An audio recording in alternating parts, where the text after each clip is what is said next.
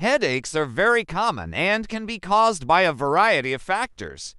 While many people immediately think of neurological or vision problems, dental health is often overlooked. Did you know that gum infections, if left untreated, can cause headaches?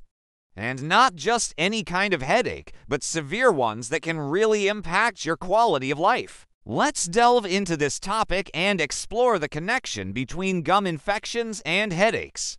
But before we do that, if you find our videos helpful, please don't forget to subscribe and like our content. It will really help us grow and reach more people. Thanks for your support. Gum infections, if left untreated, can lead to a condition called periodontitis. This is a severe gum infection that causes inflammation and damage to the soft tissues and bones that support your teeth. When plaque, a sticky film of bacteria, is not removed by regular brushing and flossing, it can harden into tartar.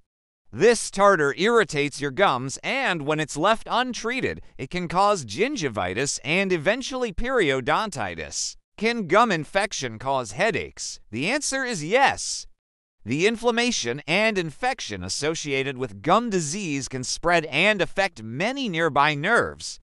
This can trigger headaches or add to ones you already have.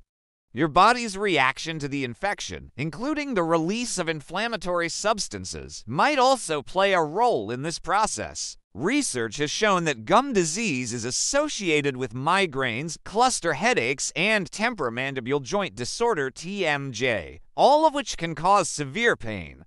What kind of headaches does gum infection cause?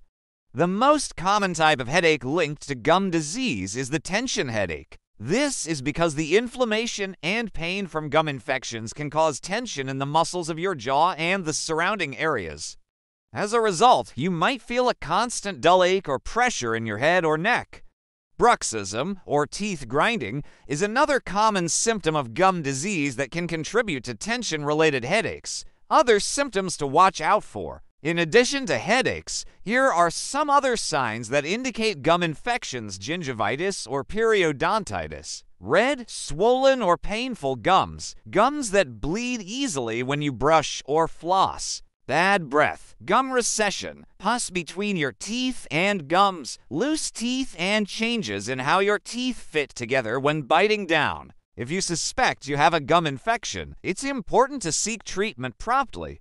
Early gum disease, such as gingivitis, can often be reversed through professional cleaning and good oral hygiene practices.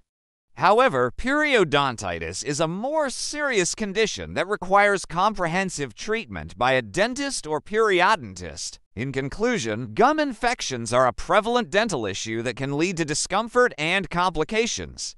While they are commonly associated with oral health problems, their connection to severe headaches is often underestimated.